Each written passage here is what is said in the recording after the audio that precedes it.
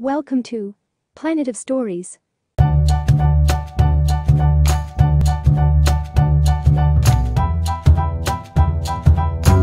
Abe. The service dog. Hi, I am Abe. And I am a service dog. When I was a puppy, my owner told me I would be a service dog for a person who could not see. I didn't know what that meant, but I knew it was something special. When I got a little older, I was sent away to school. My sister was sent to another school to learn how to help people with autism. To be their friend and help them get around. One of my other brothers was sent to a special school so he could learn how to warn people that they were going to get sick before they did. My other brothers and sisters became good friends with people in good families. Not every dog can become a service dog. School was hard. I had to learn many things just like you. I had to learn to stop and look before crossing the street. And learn what a red, yellow, and green directional light meant and what I should do. I was taught how to guide a person to go left, right, to step up and down, to stop, to move forward a little, to back up, and much more. I had to learn where I was and how to get back, even in strange areas. I had to learn how to behave in a restaurant and never, ever, beg for food. That was hard. I had to learn that I could be a plain old playful dog as long as my halter was off.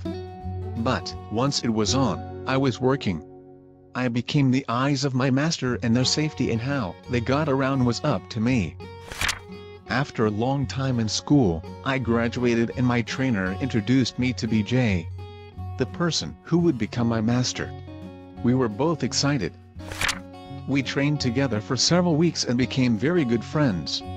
She was really nice, and we always spent fun time together once she took my halter off. One day the trainer said we were ready and I was off to a new home with my master and friend. We shared many years together and had many wonderful experiences. We went shopping, visited friends, ate in fine restaurants, and traveled across the country. I took care of BJ. I knew when she didn't feel right and could tell if she was happy or unhappy, sad, grumpy, or whatever. I would always try to make things better for her. BJ took care of me. She knew when I didn't feel right and could tell if I were happy or unhappy, sad, grumpy, or whatever. She would always try to make things better for me. A long time has passed and now I can't help my friend anymore. BJ is off to school again and training with a new service dog. I will meet him tomorrow and help him understand his new master. Then I become like my other brothers and sisters. I become a good friend for people in a good family. You really couldn't ask for more.